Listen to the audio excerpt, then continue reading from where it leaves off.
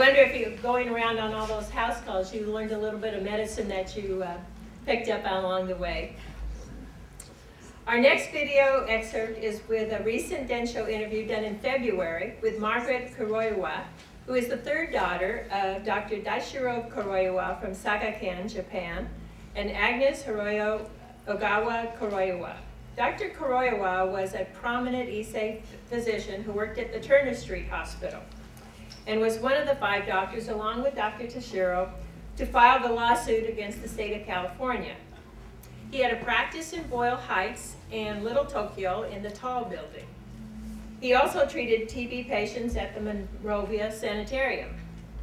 Mrs. Kuroiwa and her four sisters were all born in the new Japanese hospital at First and Fickett.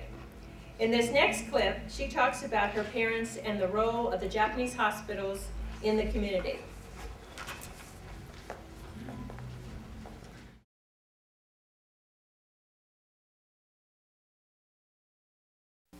Yes, I do recall the Japanese hospital on the First and Fickett. Uh, I guess there was a need for it to serve the Japanese community and perhaps uh, just like any generation, they're kind of, uh, you know, afraid or skeptical of, of maybe they can't speak the language.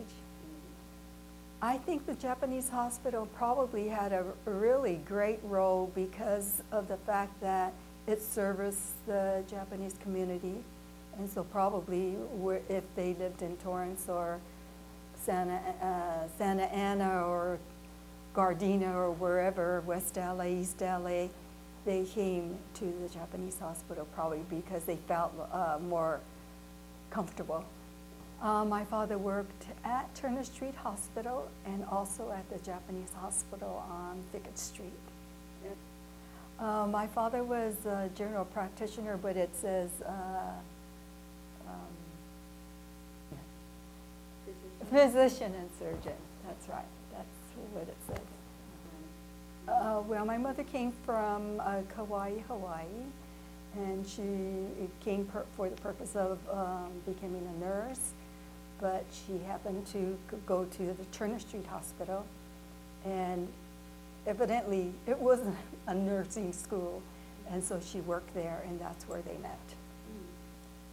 All the doctors and the nurses and their families, you know, they used to all my um, they used to party a lot, and they used to have picnics, etc. I remember one picnic specifically because uh, the doctors were putting on a skit and they had a background and they all were dressed in surgical um, whatever. And then there was a gurney and the reason why I remember it is because my father was the one that's on the gurney and his abdomen was huge. And I guess it was a lot of it was a skit and so you know they're they're cutting him up etc on the side and everything and then they're pulling out whatever balloons etc you know. And I I, I guess I, as a child, I was, you know, scared that they're hurting my father, you know.